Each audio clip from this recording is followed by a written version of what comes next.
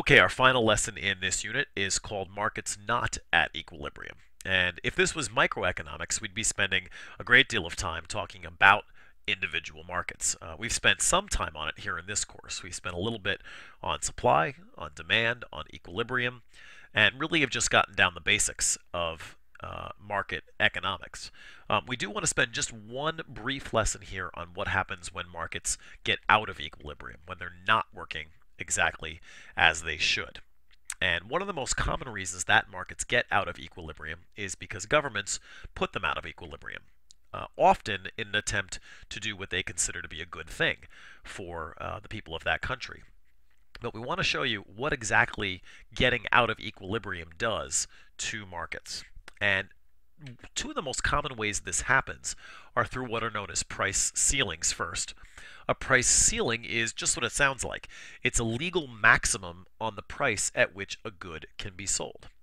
So it's the highest price that a good is allowed to be sold for.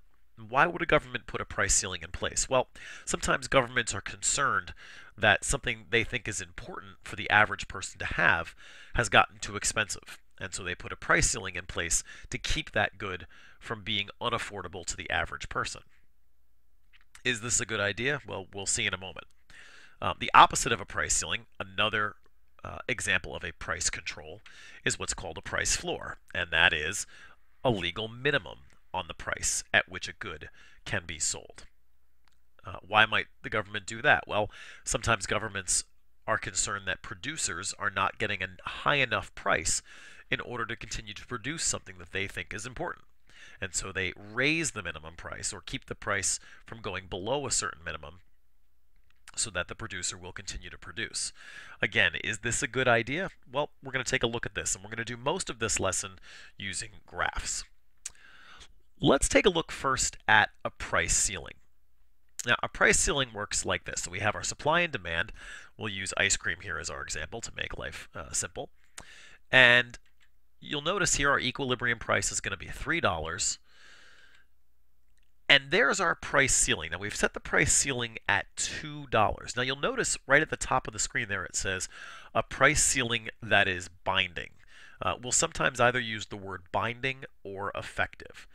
Now, why is this price ceiling binding? Well, it's binding because it's actually going to affect this market. And I'll show you what I mean by that. So we set the price now at $2. Now, where does the market want to be if we left it alone? It wants to be at $3. But we force the price to be no higher than $2 because we use this price ceiling. Well, with that being the case, the quantity supply is 75. The amount that producers are willing to produce is 75. But the problem is that the amount the demanders are willing to or want to consume is 125, the quantity demand. So with those two things, what we notice all of a sudden is we have 75 that are being supplied and 125 that people want to buy. Well, what do we end up with? We end up with a shortage. In this case, a shortage of 50 goods.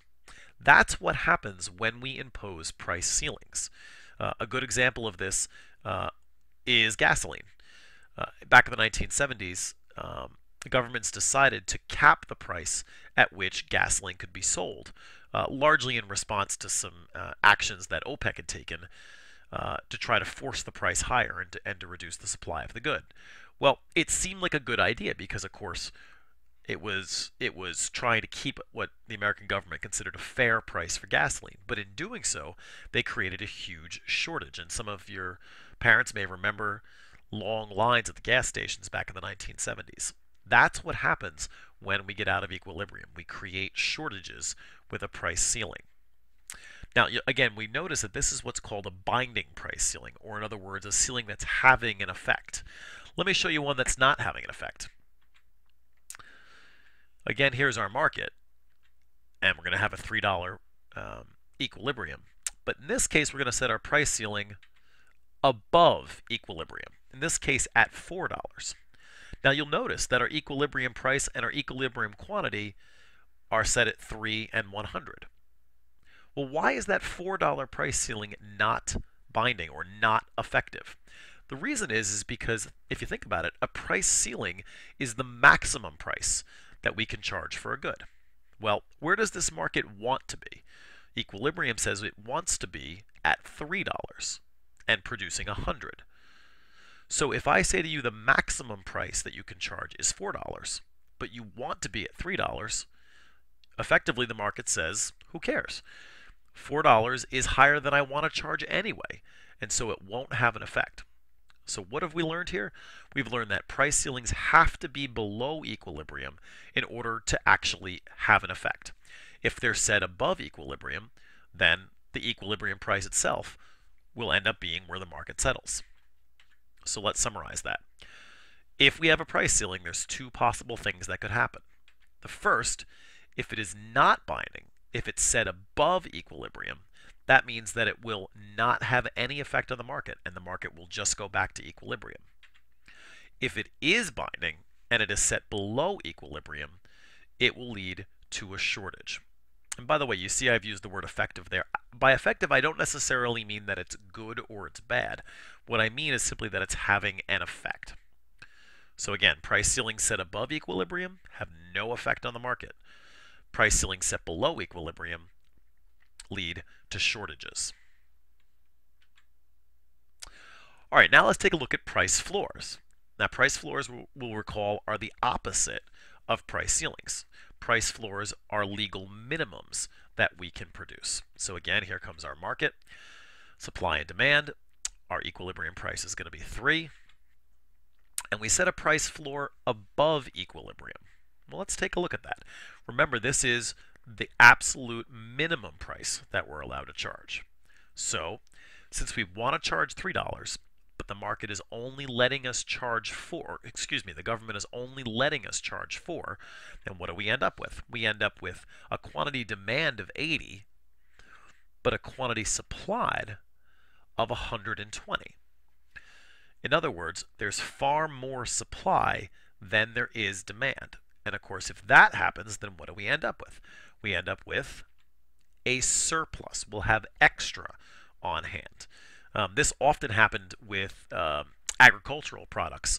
Uh, peanut butter happened to be one that I can remember as a, as a child that there was a price floor set in place. And so farmers would have lots of extra peanut butter that they were producing because a price floor was set in place. And the government would often just buy up all that surplus and then send it off to local cafeterias and schools, and we get it in big five gallon pails. Um, that's what happens when you put a price floor in place. It creates a surplus. It makes a price that's too high, so producers are happy to produce it, but it's too high for consumers to buy as much as being produced, and so you have a surplus. Now again, this is a price floor that is binding. Well, what's an example of a price floor that is not binding or not effective? Well, Here's our market again, and again, our equilibrium price is 3. If I was to set a price floor at, let's say, $2 below equilibrium, well, what's the problem with that? Well, remember, it's the minimum price that we're allowed to charge. The market wants to charge 3. So again, what are we really going to say? We're going to say essentially, we don't care about your price floor because we don't want to charge uh, less than $2. In fact, we want to charge $3. And so in this case, the price floor is not binding or has no effect. The price will simply be $3 and the quantity will be 100. So again, to summarize price floors now. When the government imposes a price floor, two things can happen. First, the price floor is not binding if it's set below equilibrium. It is binding and it does have an effect if it's set above equilibrium, and that would lead to a surplus. So one of the funny things about price ceilings and price floors is price floors, in order to be effective, have to be above equilibrium. Price ceilings have to be below in order to be effective. That seems a little odd that the ceilings are below and the floors are in the air, but that's in fact the situation. Price floors set above equilibrium have an effect or are binding and create a surplus. Price ceilings set below are effective and create a shortage. One more example of a price floor. This one happens to be a very uh, common discussion is of the minimum wage and whether or not the minimum wage is a good idea. Well, classic economists actually teach us that it's not, believe it or not. Well, why? Well, here's let's call our market for labor. Labor supply our workers, and labor demand the people who want to hire our workers, our companies. Well, there's our equilibrium wage and our equilibrium number of people that we would employ. Well, suppose that instead of doing that, I put in, again, my supply and demand of labor, but I put in a minimum wage. Now, minimum wage is a price floor. It's the minimum price that a worker is allowed to charge for his work. Well, again, by putting in a price floor above equilibrium, what do we create? We create a quantity demand that is less than a quantity supply. And therefore, we end up with a, surplus of workers, or in layman's terms, we call that unemployment. So, one of the things that we know to be true on some level is the more we raise the minimum wage, the more we are likely to create unemployment. Now, the extent to which that happened has been a great debate among economists over the past few years, but for our purposes right now, let's just assume that this model makes a lot of sense. If we put a price floor in place, whatever the reason may be, we are going to create a surplus if that price floor is set above equilibrium. Okay, let's summarize this lesson. Price controls include price ceilings and price floors. A price ceiling is a legal maximum on the price of a good. Uh, an example, by the way, another one, just to give you an idea, is something called rent control. Uh, New York City tried that at one point, um, where they tried to cap the, the, the amount that a landlord could, could charge for an apartment. Uh, it led to a, a, mess. It led to a shortage, as you might expect, of apartments, and uh, it led to many of those apartments not being very well taken care of by their landlords. Uh, so a price ceiling is a legal maximum on the price of a good. And again, rent control is an example. A price floor is a legal minimum on the price of a good or a service. An example is the minimum wage. Okay, that completes lesson 10. Please complete the activities uh, in the rest of lesson 10.